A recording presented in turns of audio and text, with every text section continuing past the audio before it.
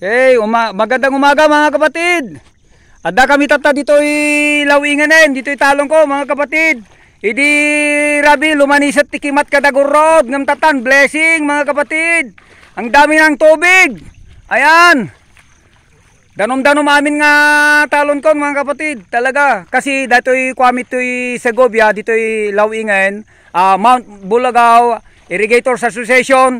Ada oras-oras na tidano mga kapatid. Isutat na nga aldaw oras ko. Uh, from 6 to 10 lang mga kapatid.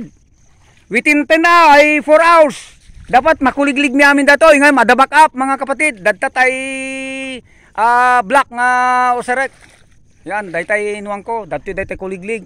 Kayong dani. Ayan, dati da mga kapatid. Ito'y kakadwa kon. Kinapod na kakabsat. Ado dagiti nakasagana tatangag talon dito. Ita dayja pa nagtudo na ngayem. Gasang-gasa lang. Ta dagitay tokong ko. Saan ko nga imbabawi.